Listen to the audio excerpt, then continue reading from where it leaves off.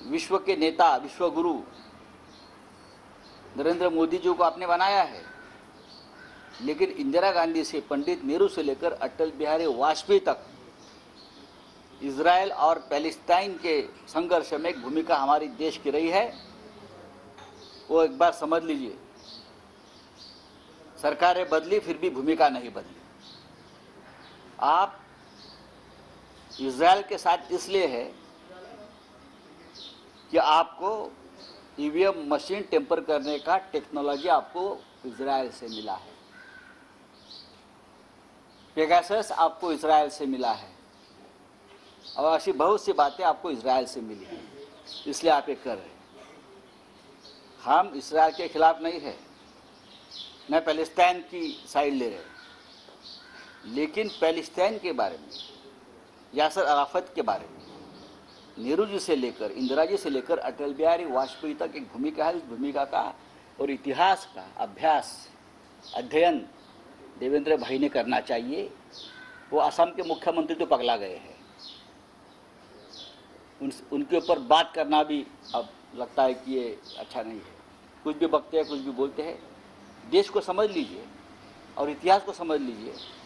एक जमाने में अपने कांग्रेस का नमक खाया है, ये भूलो मत।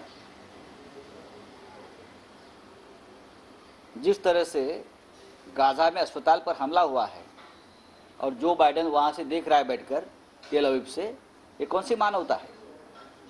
इसराइल में जिस तरह से हमास ने लोगों को मारा है, ये बहुत ही गंभीर है, दर्दनाक है।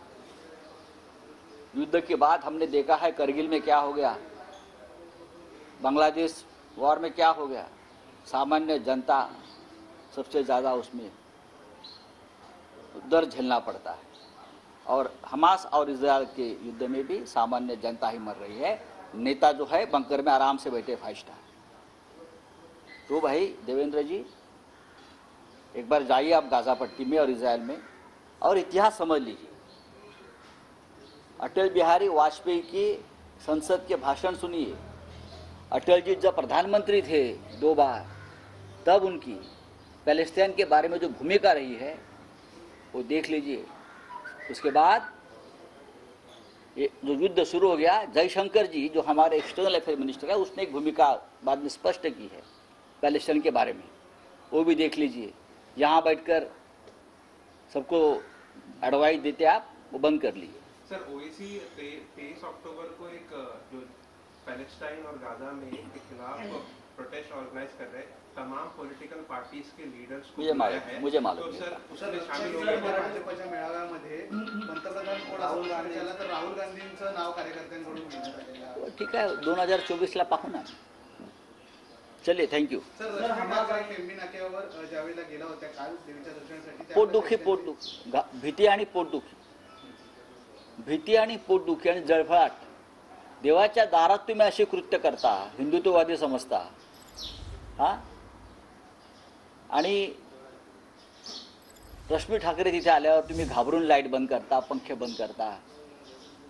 देव पाहतो आहे हिंदुत्ववादी आहेत म्हणून सांगतोय तुम्ही स्वतःला हिंदुत्ववादी मानताय ना? एका महिलेला घाबरताय. एका महिलेला घाबरताय. रश्मी ठाकरेंना घाबरताय.